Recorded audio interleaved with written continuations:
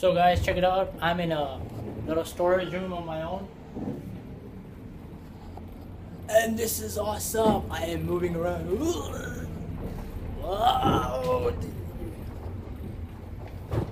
I can enjoy, have fun, enjoy. I am so having a blast in the back of the truck. I was wondering what I was doing today was I was uh, looking at the furniture. I was trying to clean it because uh, see that chair right there? That's my chair.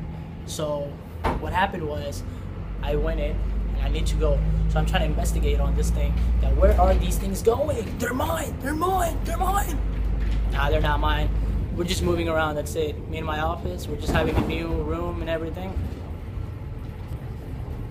So that's the new table. That's the new chairs. Those are the new sofas. That's the new microwave. And this is me. And there's my fridge. So yeah, everything's brand new.